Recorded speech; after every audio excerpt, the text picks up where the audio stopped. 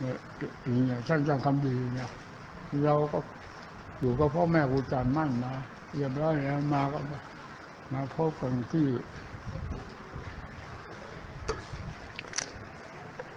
อ่าขอนแก่นที่ว่าสามเหลี่ยมทุกวันนี้นี่ดงนั่นแหละสามเหลี่ยมตะวันตกขอนแก่นติด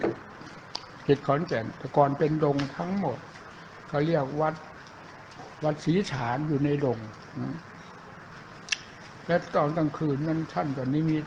เหมือนกันนะแต่นิมิตท่านรู้สึกแม่นยำมากนะไม่ค่อยผิดพลาดล่ะนี่ท่านจัดพระมาเฝ้าที่ศาลาไว้เลยนะเมื่อคืนนี้ท่านบอกว่า เมื่อคืนนี้ได้นิมิตจะได้พบพระองค์สำคัญเร็วๆนี่เห็นว่าพระองค์สำคัญ ท่านบอกนั่นเองนะนี่จะได้พระพบกับพระองค์สำคัญเร็วๆนี่นะว่าเลยให้พระมาเฝ้าที่ศาลา นี่พระองค์นั้นก็จนจำได้เราก็เลยชื่อพระหมวด ก็เราก็ไปองค์เดียว ขโมยหนี้จากหมู่เพื่อนนะคือหมู่เพื่อนติดพันหาอุบายวิธีการมาเยี่ยมโยมแม่ ไม่งั้นหมู่เพื่อนติดพันไปไม่ได้ แล้วก็ออกทางโยมแม่เลย ก็ไปเยี่ยมโยมแม่จะไปหาความวิเวกที่ไหน แต่ว่างั้นผ่านมาแล้วมาอยู่กับโยมพักโยมแม่สองคืน เปิด ไปนี่แหละคือเนี่ยไปพบท่านที่นั่นละก็คุยธรรมะกันอย่างสนิทสนมที่ท่านบอกว่าท่านจะเลยกพบพระองค์สำคัญอยู่เร็วๆนี่ท่านว่างั้นนะ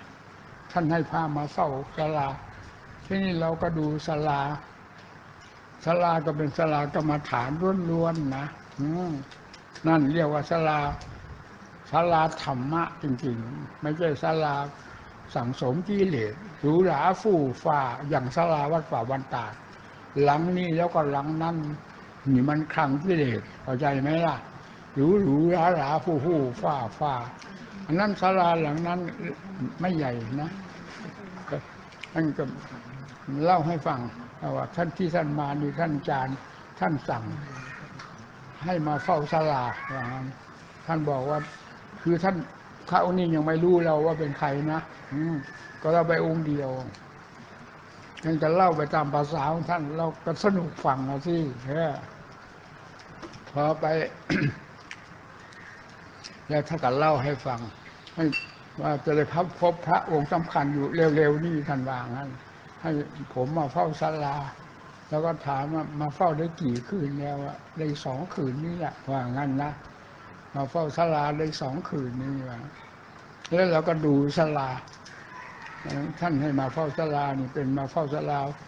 ตามที่พูดนี้จริง ๆ หรือถ้ามีอุบายวิธีการในในไปรักษาสิ่งของที่มีค่าในศาลานี่แล้วก็มองดูศาลาไม่มีอะไร กระโถนก็เป็นกระโถนไม้ไผ่ ไม้ไผ่ตัดขึ้นกระบอกไม้ไผ่ เป็นกระโถนแล้วก็ดูไม่มีอะไร เราก็เชื่อแล้วว่าท่านเป็นนิมิตของมันอย่างนั้นมีเวลาท่านพระองค์นี้ถามชื่อ เราก็จะถามว่าทำไมท่านก็ตอบมีเหตุมีผลโอ้นี่เวลาพบกับครูอาจารย์แล้วก็ต้องไป ไปเล่าให้ท่านฟังมาชื่อว่าไงจองไงว่างั้นเราก็จนกรอกก็เลยบอก เพราะว่าชื่อมหาชื่อบัวเหรอว่างั้นหรือไม่ใช่อาจารย์มหาบัวเหรือว่าอีกนะใช่แล้วเราว่างั้นโอ้ยดีท่านอาจารย์นั้นพูดถึงอยู่ตลอดว่า เทศ ต้นเทศหรือปลายเทศ รู้สึกจะมีเกือบวัตถุกครั้งว่างั้นนะยกท่านอาจารย์ขึ้นตลอดเลยว่า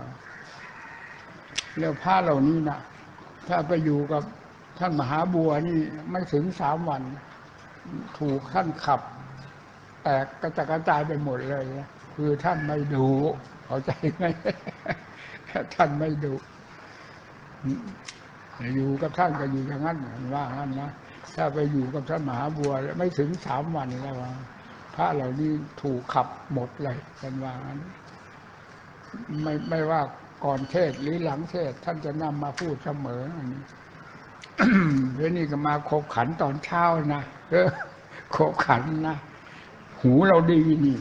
เรานั่งอยู่นี่ท่าน ท่านนั่งอยู่ตรงนี้ เรานั่งอยู่ข้างนี้ เป็นองค์ที่สองของท่านน่ะพระนั่งเป็นแถวไปที่ที่มันขบขันนะพอพระเอาปิ่นโตเอาหม้อเข้า อาหารเข้ามาหาท่านจัด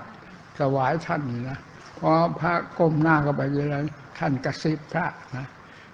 รู้ไหมเสือนะท่านบอกว่าเสือเนี่ยรู้ไหมนะว่าท่านกระซิบว่าที่นี่เรามันหูดีอยู่นี่นะเพราะองค์ไหนก้มเข้าไปนี่รู้ไหมเนี่ยเสืออยู่ข้างหลังท่านว่างันนะบอกว่าเสือนะรู้ไหมเสืออยู่ข้างหลัง ระวังให้ดีนะว่า กระซิบแล้วก็ออกไป องค์นี้เข้ามา องค์ไหนเข้ามาท่านท่านถึงกระซิบนะกระซิบทีไรปั๊บมันก็รู้ก็ก็คนหูดี นี่รู้ไหมเสือว่างั้นนะบอกว่าบอกว่าเสือนั่นเลยระวังให้ดีนะระวังให้ดีนะว่างั้นนะกระซิบแล้วออกไปออกไป องค์ไหนออกไปแล้วก็เรียบไปเรียบไป พอตื่นเช้าวันหลังนี่รู้เรื่องแล้วว่าเป็นเรา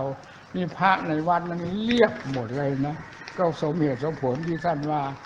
ถ้าไปอยู่ก็ท่านมหาบัวพระเหล่านี้ก็ถูกขับไล่หมด พอเข้ามาแล้ว ท่านกระซิบว่านี่เสือรู้ไหมนี่ท่านบอกรู้ไหมเสือคบขันนี่แหละได้พบกับท่านนั่นแหละคุยธรรมะกันสนุก คืนแรกสองทุ่มห้าถึงห้าทุ่มคืนที่สองสองทุ่ม ถึงหกทุ่ม คืนที่สามสองทุ่มถึงตีหนึ่งเฉพาะสองสองคุยธรรมะกันกับท่านเนี่ยนี่เกี่ยวกับเรื่องท่านอาจารย์คำดีนะท่านพูดถึงเกี่ยวข้องกับเราอยู่ตลอดเวลารู้สึกท่านจะมีความเมตตามากอยู่เนี่ยเพราะฉะนั้นเวลาพระก้มหน้าเข้าไปหาท่านท่านนี่กระซิบรูปไหมเสือ เสือ บอกแต่เสือตั้งนั้นนะไม่ได้บอกธรรมดาไม่รู้ไหมเสือระวังนะหรือว่าบอกให้ระวังนะเสือ บอกว่าเสืออยู่มันเลยขบขันเราก็ดีท่านกับชีพระต้องท่านละท่านนึกว่าเราจะไม่ได้ยินก็เราได้ยินทุกคำก็หูดีอยู่นี่พอใครก้มเข้าไปใกล้ๆท่านรู้ไหมเสืออยู่ข้างหน้ามีแต่เสือเสือทั้งนั้นโอ้ยขบขันดีนะ อืม